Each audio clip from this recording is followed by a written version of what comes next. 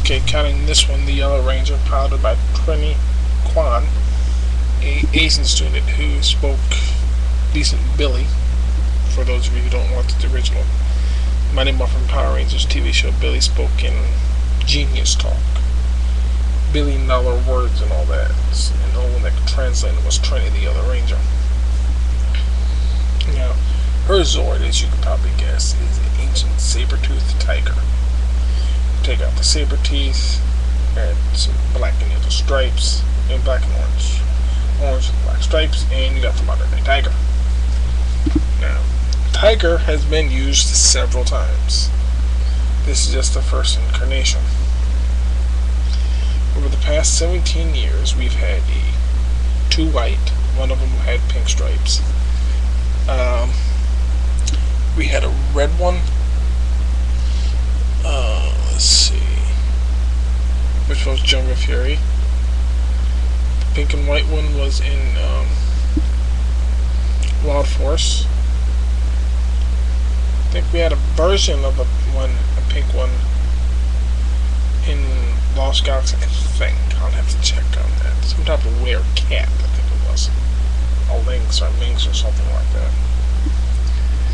But the tiger is the one of the oldest guardian spirits in world history. Beautiful cat too. I've actually seen one. Now this one is similar to the original in basic appearance. The wheels do not roll.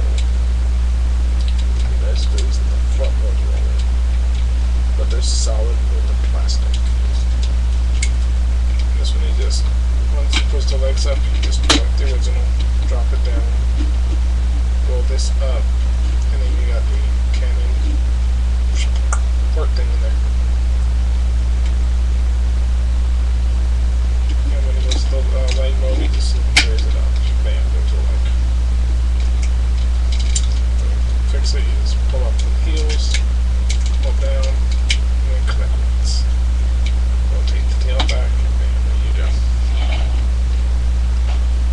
Like the Mastodon and Triceratops, the extra features like the tusks on the Mastodon, the horns on the Triceratops, and the saber teeth on the saber-tooth tiger are just gray plastic. Drawback. Now, it's a lot taller than the original was, which you'll soon see in a few minutes. Yes, it is also a lot shorter. Sorry.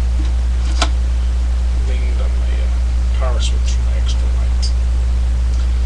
Well, I said these are going to be really short reviews until I get into the combination, like the tank and Megazord. I might even do them as one review to make it a little bit longer.